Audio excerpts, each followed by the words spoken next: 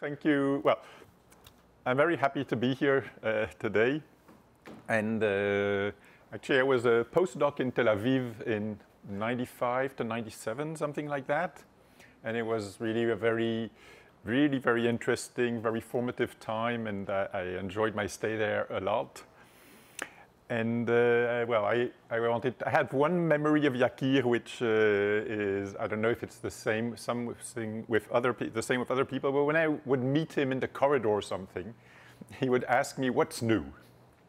And then I would, you know, tell him, well, when I would meet Yakir in the corridor, he would ask me what's new.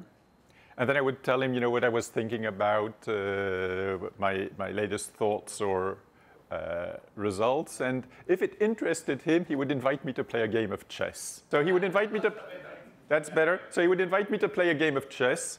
And the first time, I actually won. And then he said, oh, let's play another game. And uh, he paid attention, and I never won any other game with him.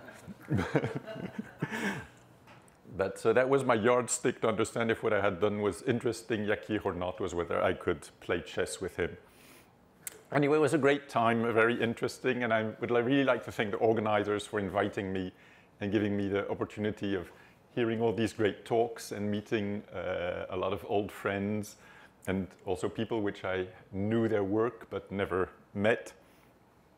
And so, well, I'll be giving a talk which is very even more outside of the, the central theme of the, uh, the conference.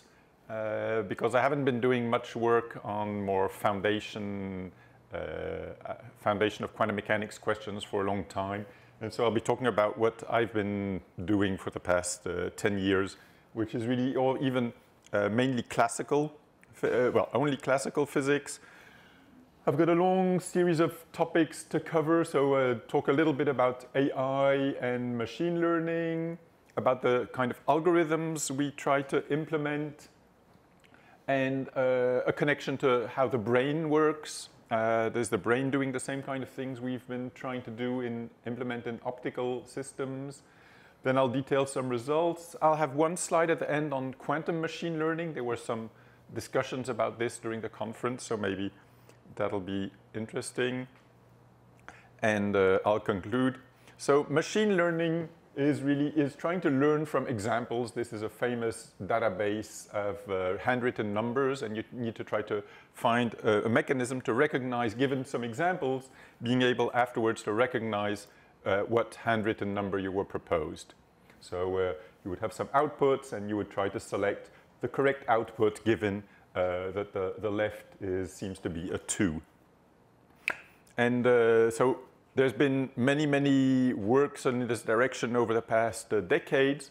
And about uh, 10 years ago, there was this breakthrough where suddenly the performance started to increase dramatically on really hard tasks. So not recognizing simple handwritten digits, but recognizing uh, much more complicated images. And this has uh, you know, ballooned into what is probably, what, well, certainly one of the more, uh, one of, is going to be one of the most disruptive technologies of the 21st century is uh, AI. So uh, the, so the brain, brain, just to introduce a bit further what I'm trying to do, well, of course, you know, our human brain is doing machine learning tasks all the time. We've learned from examples, or, and uh, then we are, we're doing this. So how, does it compare how the brain and the digital computer uh, compare? They, they actually operate in completely different ways. So the, they consume approximately the same amount of power, but a digital computer like the ones on your desktop operate at about a gigahertz, whereas our brain is sort of unit of time for operating is about at a rate of a kilohertz. Digital computers are really sequential. They're doing operations one after the other whereas our brain is massively parallel. It has a huge number of neurons, and each neuron is connected to, uh, well, 10,000, say, synapses through 10,000 other neurons, and everything is happening in parallel at approximately a rate of uh, a millisecond or something like that. And so a natural question which people have been asking for a long time is can we make hardware which computes a bit like the brain? And they, this is, uh, there are at least, uh, well, several motivations. One of them is that uh, these artificial neural networks, which have been so successful, actually, they're sort of implementing digitally an analog computation. So could one gain some efficiency or make something better by doing the computations more in the analog domain directly than in the digital domain? And also, can one learn new insights about machine learning, about artificial intelligence, about how the brain is working in these uh, approaches? Now, the most of the work, or the most, by far the most impressive work in this direction is using electronics. And, but well, I'll be talking about how, what things you can do with optics in this direction. And just to compare, uh, electronics is a very mature technology. Optics is improving, but if you compare what you can do, it lags probably by several decades behind electronics. At a more fundamental level, electronics has a very low footprint. That is, you know, the, the size of the wires you can make is, say, 10 nanometers, whereas in optics, you're limited by the wavelength of light, which is about a micrometer. So you're, you'll always be making things much larger. Uh, optics also has very weak nonlinearities, which make it difficult to do nonlinear operations. On the other hand, well, electronics may have some speed limitations and intrinsically it's difficult to do things in parallel in optics and using the same hardware, whereas in optics, because light doesn't talk to each other, the weak nonlinearities, you can do uh, the same thing at the same place with different light beams. And potentially optics can be much faster. And it could have some applications certainly given all these limitations, but it could have some applications in places where you want to process information directly in the, in the optical domain, for instance, for uh, telecommunication applications. Uh, to trying to do computation or information processing with optics today is very prehistoric. It's a bit like trying to imagine how uh, the first organisms which uh, were trying to uh, coordinate sensors and movement were in the Precambrian or something like that. Uh, really, probably extremely primitive. And because of all these limitations, there's, we're nowhere near to have ever made a, something like a digital optical computer. So, uh, well, the next, so after this, uh, well, what kind of machine learning algorithms can we try to implement with these very primitive systems? And so this is what I want to discuss now, is uh, some, the two algorithms which are very simple and can, you can do with, uh, without too much, too sophisticated hardware and too fine control over it. For comparison, these are the example of uh, these deep neural networks where we have uh, an input sent through a, a sequence of neurons and you're going to, to get these very impressive performances, you train, you optimize all the connections in this network. And this is, uh, well, very, very powerful, but very difficult to implement once you start to have physical analog systems because there's too many parameters and they need to be controlled too finely.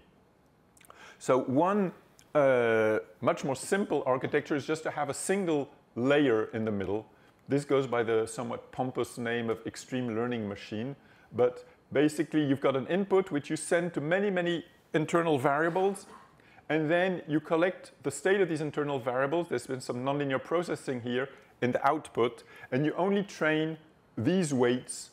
So if I go back to my example of handwritten digits, you would try to train these weights so the output would be high if the input corresponded to, say, the digit 2 and low in the other cases. Uh, so this is, uh, uh this, uh, you have chosen random weights here. And so this has been studied theoretically, but because the weights are random, this means that if you wanted to implement it in an experimental system, you could actually probably deal with all sorts of particular constraints from your experimental system because uh, if random weights work, if random connections work, then it means that most connections should work. And because you only train the output weights, the training is easy to do. And because there's no uh, effect of training some weights on what the others will do. If you compare with this problem, if you change a weight here, it's going to change all the future operations. And so it's very complicated, much more complicated to optimize this whole network compared to only optimizing the final layer. And uh, this actually, as I'll show in a few seconds, in a few minutes, will be uh, is quite. Seems quite similar to a structure we have in the brain.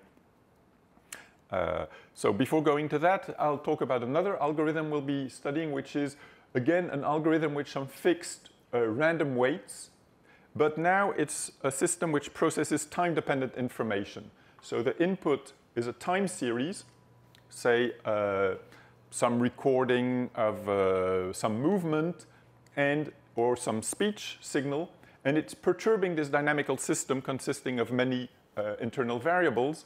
And so the system is responding to this, say, speech signal in a deterministic way, but a very complicated way. And then you create an output by optimizing, you take a linear combination of the states, internal states of the system to produce your output.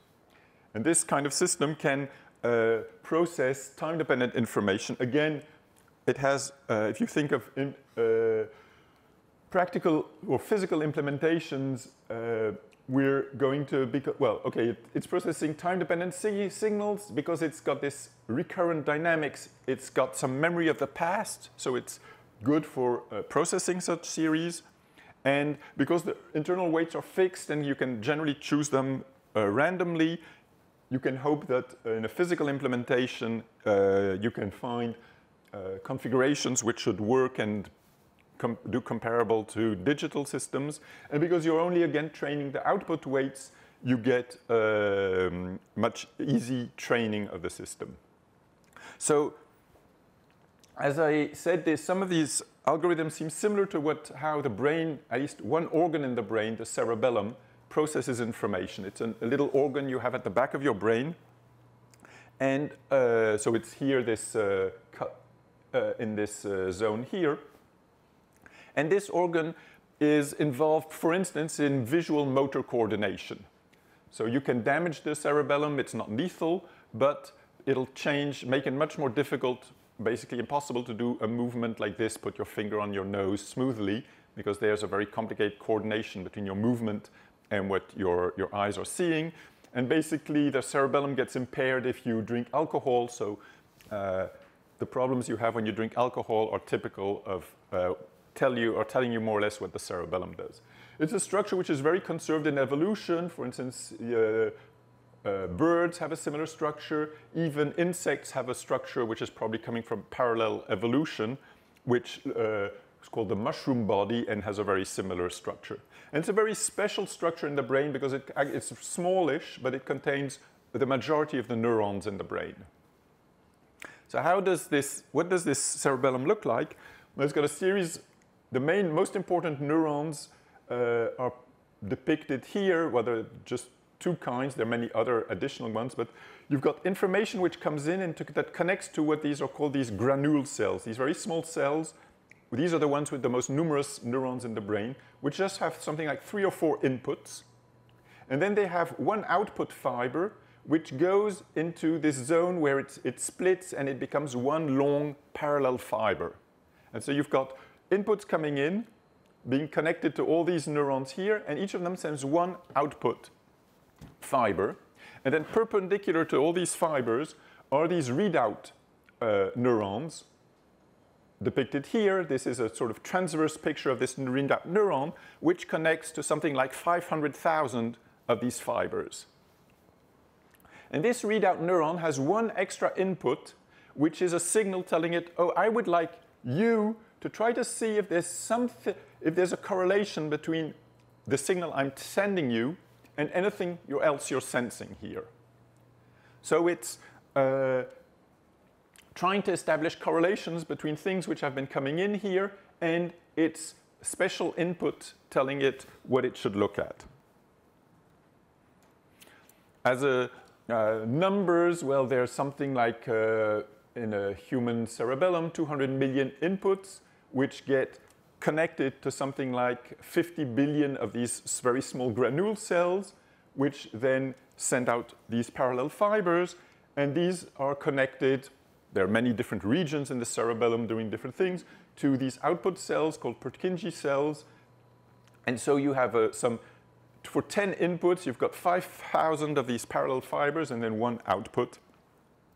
And this seems quite similar to this kind of structure where you've got an input spread out to a very large high dimensional intermediate layer, and then you try to train your outputs. And it may be that in this structure there's also some uh, additional information, there could be some additional information processing loops which are recurrent, uh, taking into account time dependence, in which case it, would also, it could be similar in some way to this, but that is not really uh, known if this is actually the case. So now let me go to the, uh, the core part of uh, uh, what I wanted to talk to you about is some experiments we've done on implementing these machine learning algorithms in optics. And I'll first talk about how to implement this reservoir computing algorithm with delay dynamical systems, and then on using uh, these extreme learning machines or reservoir computing with frequency combs. So uh, our neurons there will be the different frequencies of light. So if we want to implement this kind of reservoir computing, we need some dynamical system which has some complicated dynamics which we can perturb and then read out the internal states. So high dimensional dynamical system, some nonlinear but deterministic mapping of the time-dependent input to the internal states. And uh, we can, should be able to tune the strengths of these connections so that the system is in the right dynamical regime. So there have been many trials. The first one back in 2003 just used wa excited waves on the surface of water and filmed them with a camera and showed that this could in principle work. The system we developed, uh, the first system we developed in, was based on uh, what are called nonlinear uh, delay dynamical systems, where you've got a nonlinear node, and then this is the information coming from this node is fed back into the, your nonlinear system with a delay, and you can adjust the strength of the feedback. These are well-studied systems in nonlinear dynamics, a very good example is when you take your shower in a, in a hotel or something and you try to adjust the temperature and the, there's a delay between when you turn the tap and how long it takes before you get the change in temperature of the water which is falling on your head. And uh, then you react, but in a nonlinear way, and suddenly it's, the temperature is burning, and then it's much too cold. And you can see that you can get complicated oscillations, complicated dynamics in these systems.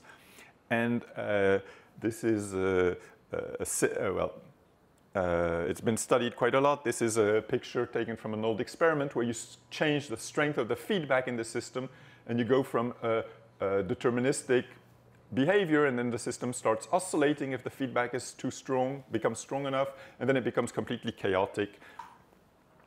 Um, so these systems have a rich dynamics and we're going to operate them someplace here where the response to a perturbation will be strong and complex, but the system doesn't have autonomous dynamics. So how do we do this if we want to process information in such a system? Well, we're going to sort of view the loop as containing all along different nodes which contain information, which are our kind of neurons between quotes, and we're going to send information in and then read out the information going around this loop. There are a number of details on exactly how you should do this for this to work, and I don't have the time to get into this. But it's a, a, a nice system to get into this topic because it actually is quite economical in terms of resources. You just need one nonlinear node, and then everything is encoded in your delay loop.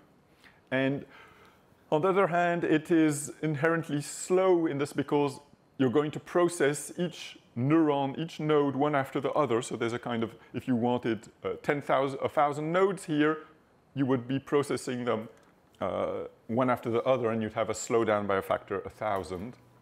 And uh, uh, this is a schematic of an experimental system we implemented uh, doing this with, uh, this is our nonlinearity, and then the light goes here.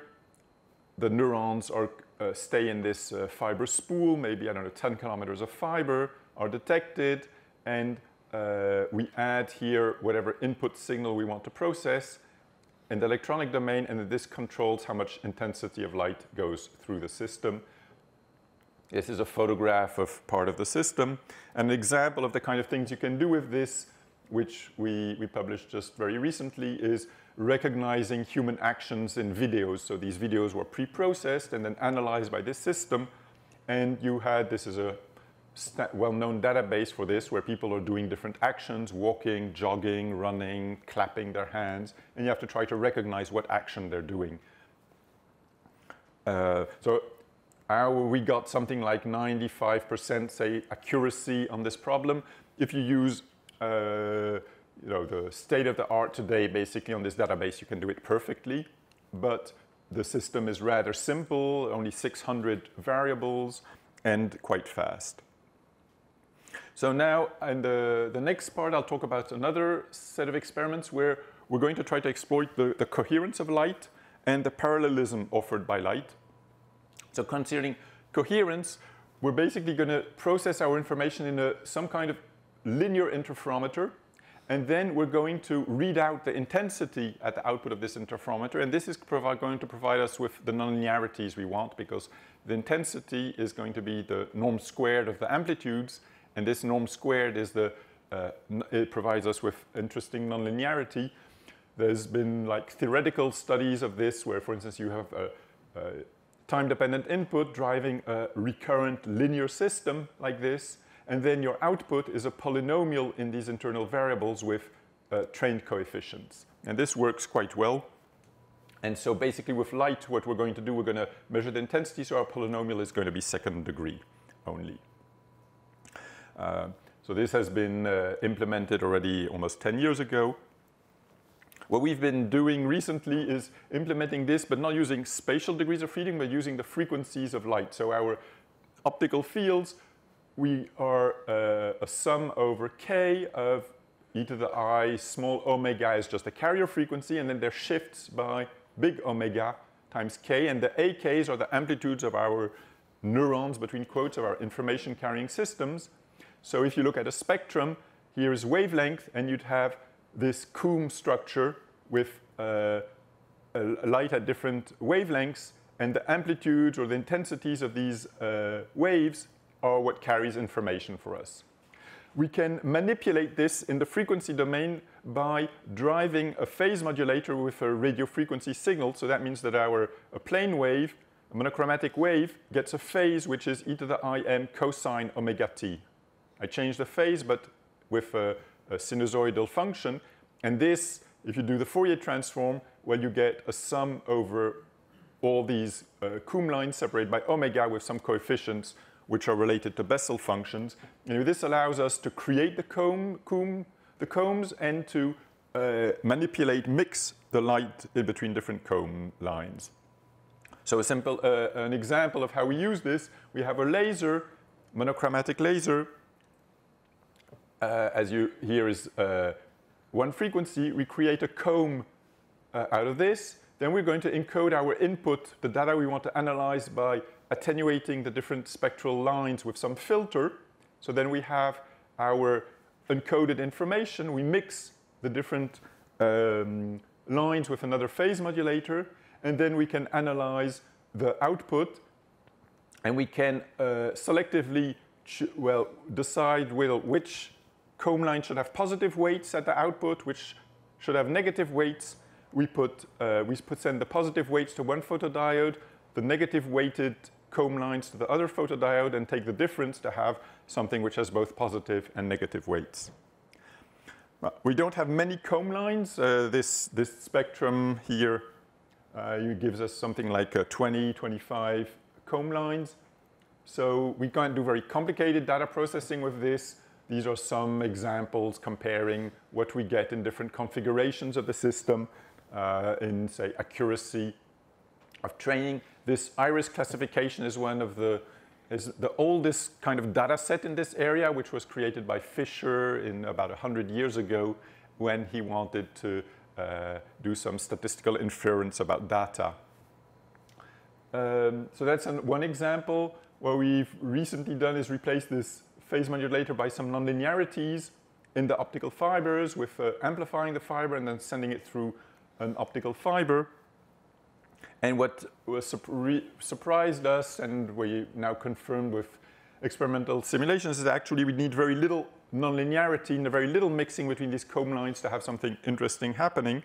And so here is, as a function of propagation distance in the uh, amplifier, So amplifier is not very long, 20 meters, and this is the integrated nonlinearity in, which is like uh, measured by an angle in milliradian. So it's not very, it's very small nonlinearity, and we see here the performance on uh, one of these tasks, which gets better and better, and then basically saturates. There's no more improvement when you make things more nonlinear. So in this, we, we can improve things, but only using very little nonlinearity, which is interesting for any, uh, from a technological point of view, because as I, I mentioned, optical nonlinearities are uh, weak, and so if you can do with small nonlinearities, you're certainly uh, helping yourself. We also uh, did study, implemented with the same system some time-dependent information processing.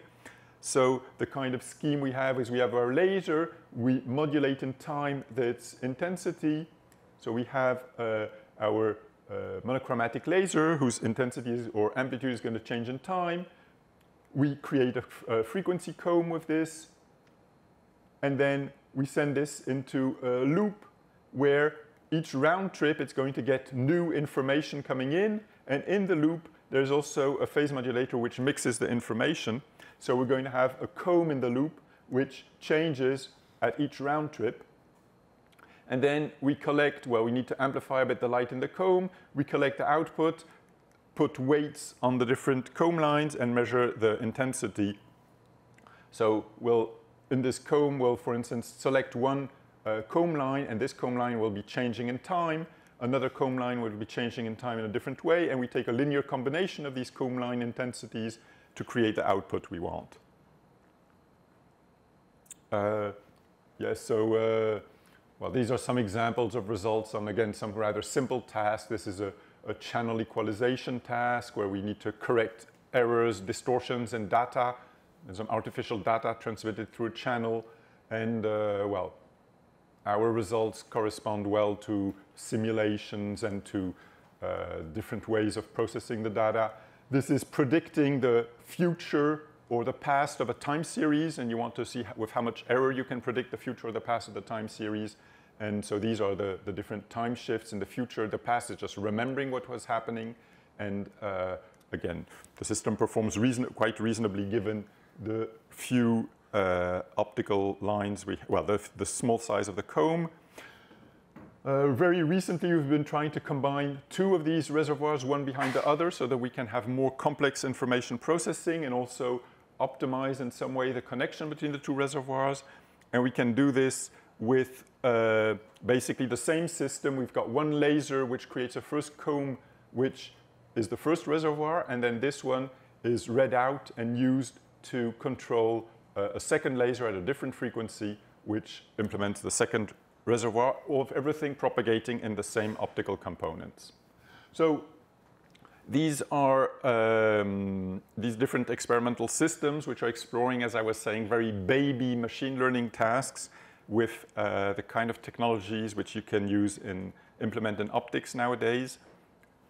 There are many different uh, groups exploring this and trying different approaches.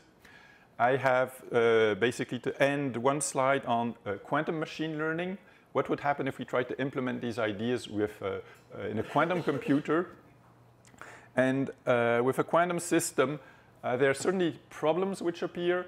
well, if you had, imagine that our machine learning system is composed of n qubits. So the Hilbert space dimension is 2 to the n. But uh, we only have something like order n parameters we can train to try to optimize this system and make it learn better. And then we, we ran into two problems which uh, at least uh, prepare, well, uh, the two naive problems you encounter. One is that the outputs, when you try to measure how your system is performing, are stochastic because it's a quantum system. You measure, you get random results. So if suppose you measure all these qubits, well, you're going to get random results, and maybe you're going to need actually of order 2 to the n measurements to get uh, good uh, statistics on what's happening in the system. So there you could have uh, a tremendous inefficiency. And the other inefficiency which you can have is that there's uh, something called, which is called the barren plateau, which is that if you, you have your, your performance of your system, this is very good, say, this is very bad, and uh, suppose you're someplace in the middle, well, you've got your, your Hilbert space has dimension 2 to the n, so there are 2 to the n directions you can go here. but there's only one which is improving performance and one which is making things bad. And if you change one of these parameters, well, it's going to most likely be going in the flat direction.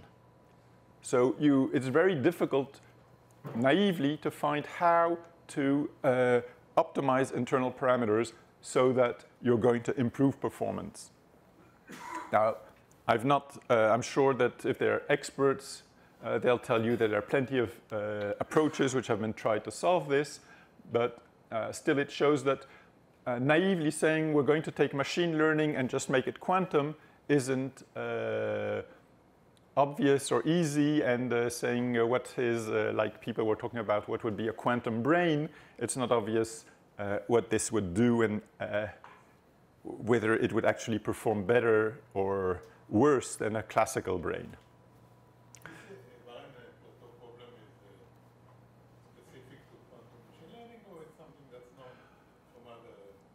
I think it's sort of a generic problem of you can think of it as a generic problem of quantum algorithms. That in general, if you've got some, but here it's the, the problem here in machine learning is that you want to uh, you want to try to learn from your examples how to improve performance.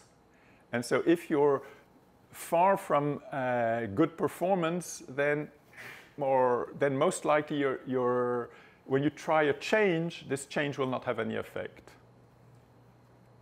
But I think it's something which sort of shows the difficulties of building quantum algorithms in general. Because you have to, so there may be clever ways of circumventing this, but then you have to find an architecture where uh, you can try directions and you know they most likely would have an effect.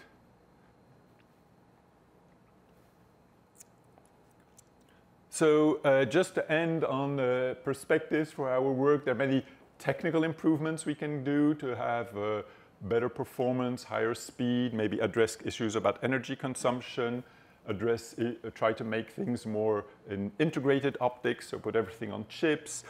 Also, of course, I think very interesting is try to improve or try other algorithms.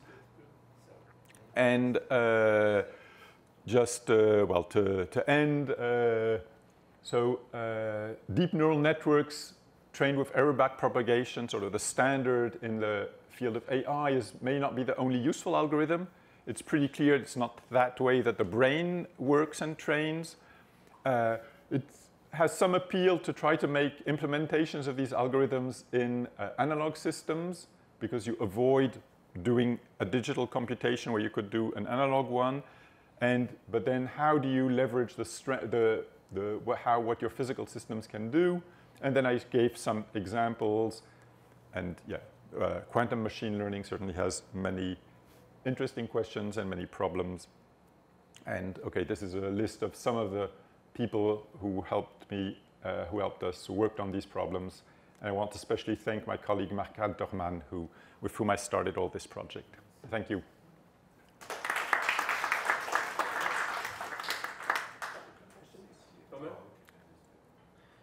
for an interesting talk. You have uh, the bifurcation di diagram, right? Can you go to this slide?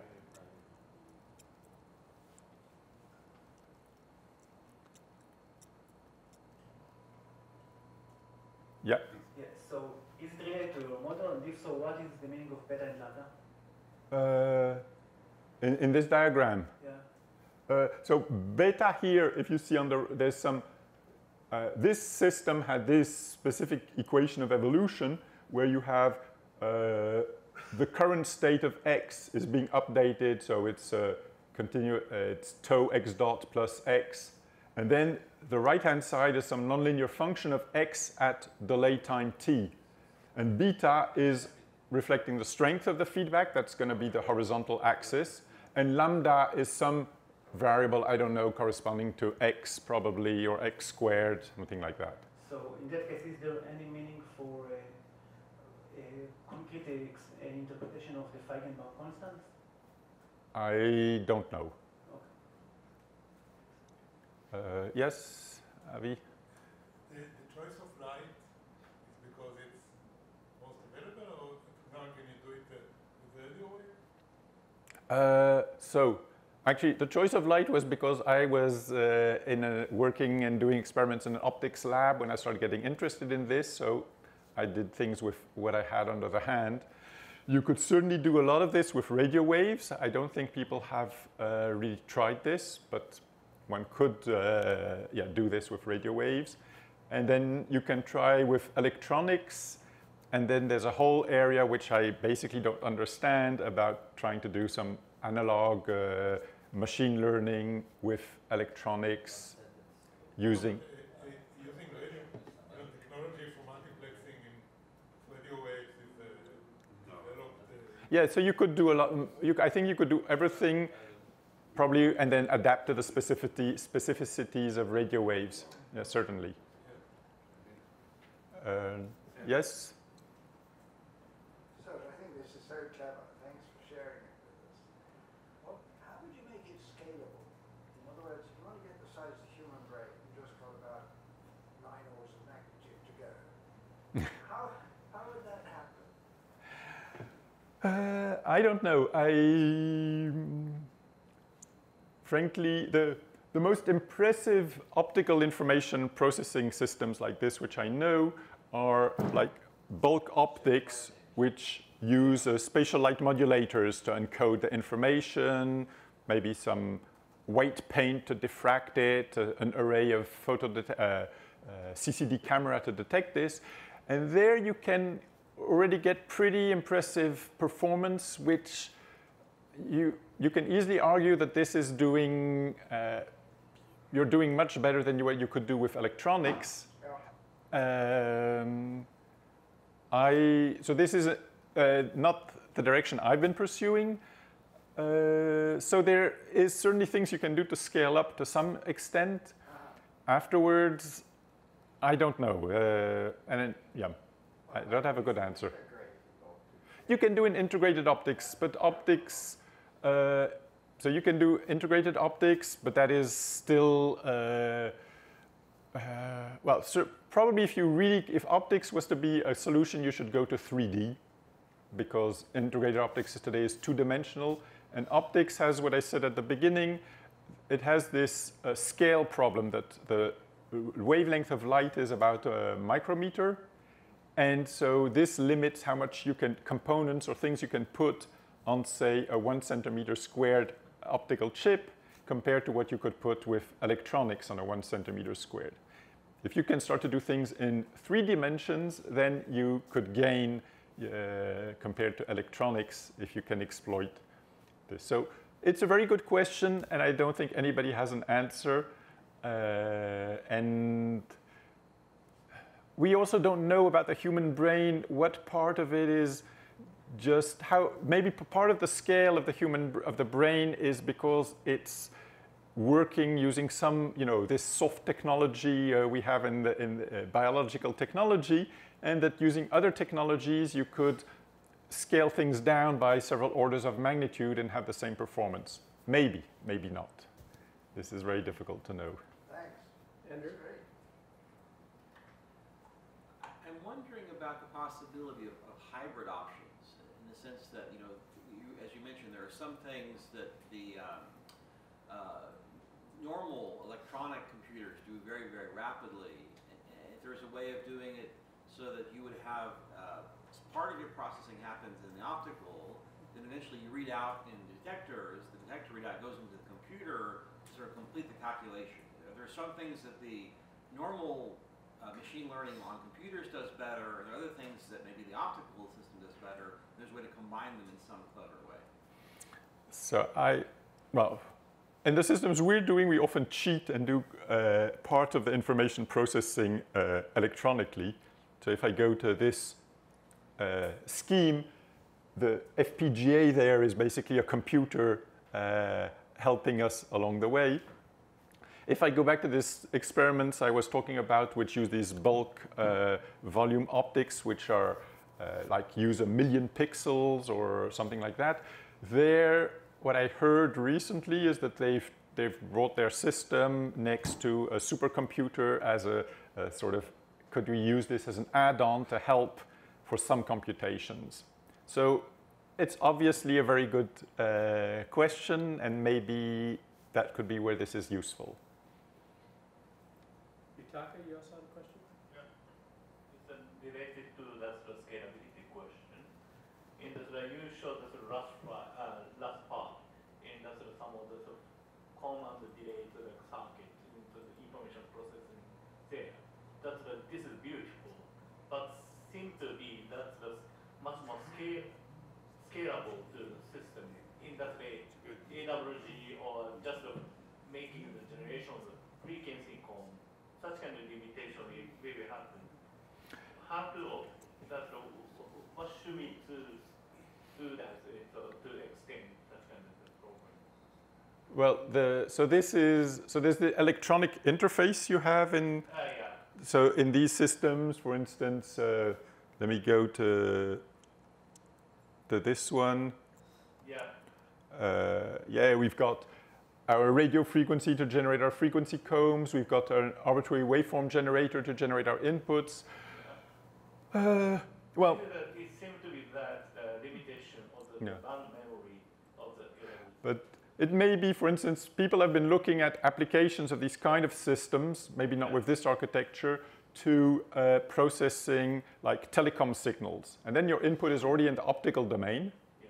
And you want, so the AWG there is replaced by what is coming through your optical fiber as input. It's already optical, and you want to do some processing of the signal in the optical domain rather than what is done nowadays, converting everything to digital electronics Yeah. and then processing it in the electronic domain. Yeah, then that's the finally so the limitation by the digital, uh, uh, just uh, just only the analog, uh, digital uh, electronics. So there, yeah, so there you would get rid, you could try to get rid of some digital electronics for some applications where this is what is used now, and maybe you could do, uh, for instance, for channel equalization or some decoder or encoder in optical communication. Uh, yeah, frankly, I, one thing which I think is interesting from my point of view, I try to think more about the concepts of these things. I'm not really, I'm not an engineer, and I know I don't think like an engineer, which is the question you're asking. So, for instance, the kind of questions which interest me at the moment is more well, if I have several of these systems, can I combine them in a way to do uh, to make something more powerful? Uh, in a bit the same way that you have these deep uh, learning systems. Uh, yeah, how can we boost the performance of these systems, and how does that scale with the size or the number? And what is the good way to do that? Because that's a very open question. Okay, thank you. So there, yeah. Any more questions? Okay, let's take Serge.